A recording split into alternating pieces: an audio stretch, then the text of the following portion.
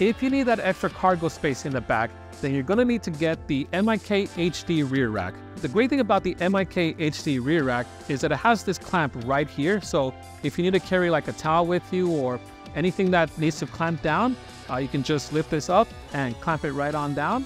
It also has this light right here in the back, so it gives you that extra visibility when you're riding out at night. So all of our bikes come with uh, front lights and rear lights.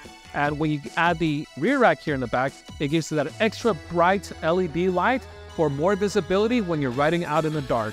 And it's great because it uses the MIK click systems. So you can attach different uh, MIK and Basil accessories on it, such as the saddle bags, the trunk bags, the rattan baskets, the crate, and also the Basil child seat. So if you have that uh, little bundle of joy that you want to take with you on those bike rides, you're going to need to get the MIK HD rear rack to get the child seat up put on there. Now we can paint it in different colors, so it does come in black, but you could also get it in white, blue, red, any color you want. So if you don't have this rear rack and you need that extra storage space or that child seat, make sure to buy yours today.